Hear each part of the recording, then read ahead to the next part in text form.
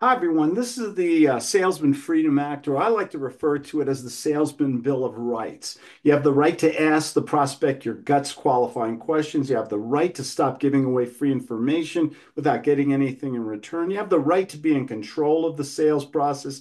You have the right to have high self-esteem and feel great about yourself. You have the right to reject the prospect and end the sales prospect if they do not qualify. And this goes on for uh, six pages.